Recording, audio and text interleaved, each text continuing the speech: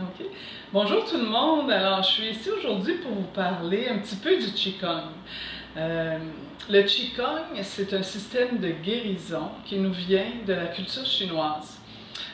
On travaille en Qigong avec l'énergie. Je pense que la meilleure façon de l'expliquer, c'est si on peut imaginer une méditation en mouvement.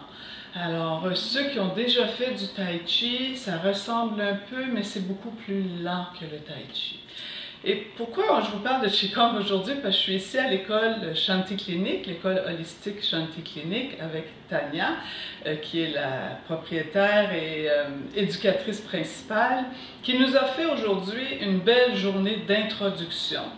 Euh, en prévision d'une formation professionnelle pour ceux qui veulent faire une formation professionnelle de Qigong pour enseigner finalement. Et c'est une école pour ça aussi. Ici, c'est une école d'enseignement dans plusieurs disciplines d'ailleurs, euh, l'Ayurveda, le Reiki aussi. Alors maintenant, nous débutons bientôt une formation de Qigong. Et euh, bon, moi, je voulais vous partager ça parce que j'ai vraiment trouvé la journée très spéciale. Euh, on a eu une extraordinaire introduction, très claire, euh, pour nous dire, nous faire comprendre que bien ce qui est à la base du Qigong, c'est le travail avec l'énergie. On a déjà fait, euh, Tania a déjà fait avec nous aujourd'hui un diagnostic personnel pour chacun d'entre nous qu'elle a pu voir les énergies de notre corps et ce que nous avons à travailler individuellement. On a appris une méditation de base, que là le nom Yang je pense, c'est ça, qui euh, donc dans la première centre d'énergie du Qigong, qui est le dentien ici de la base. On a déjà fait tout ça aujourd'hui. Également, on a appris un massage, euh, un automassage pour stimuler l'énergie de notre corps. Alors, euh, tout ça déjà dans l'introduction. bon, Qu'est-ce que je peux vous dire aussi? Personnellement, l'été 2016, euh, moi je suis déjà professeur de yoga depuis quelques années et euh, à l'été 2016, j'ai eu un énorme mal de dos qui, a fait que je pouvais même plus faire de yoga. Et cette année-là, euh, cet été-là, Tania faisait des cours ici de Qigong et je suis venue en suivre. La différence, c'est qu'en Qigong, nous sommes toujours debout. Alors, euh, c'est très différent du yoga. C'est une autre discipline euh, qui nous permet de vraiment travailler avec l'énergie, mais qui fait que si on a des douleurs quelque part, on a des problèmes de santé, c'est plus facile de pratiquer le Qigong que peut-être certaines autres disciplines.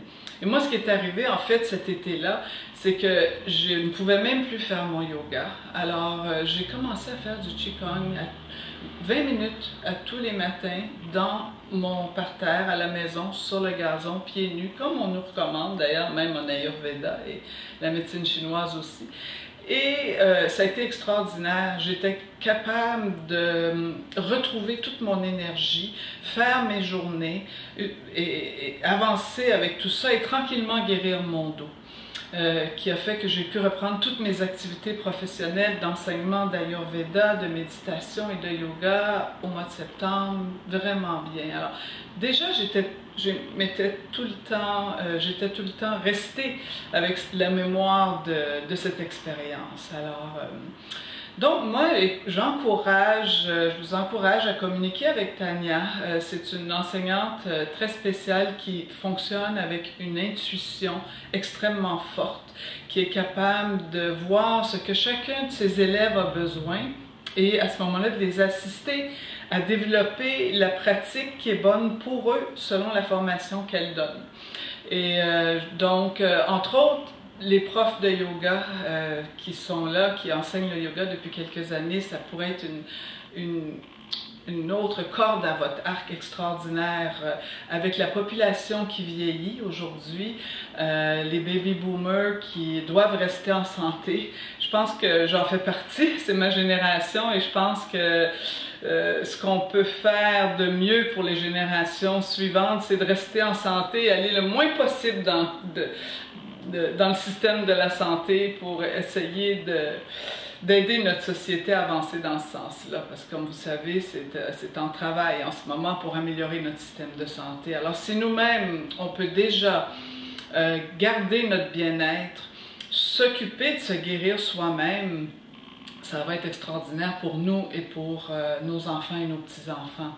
Alors, euh, en fait, pour revenir aux profs de yoga, je pense que, que vous ayez n'importe quel âge, moi déjà au début de la soixantaine, je vois comment je peux aider les gens de ma génération à rester en santé avec le Qigong. Alors, bon, je pourrais en parler longtemps, mais je vous encourage peut-être à faire un peu de recherche, voir si c'est quelque chose qui pourrait vous interpeller et euh, peut-être euh, donner un coup de fil à Tania à l'école ici, Chanté Clinique à Laval, qui pourra vous donner à ce moment-là tous les détails de la formation qui doit débuter bientôt.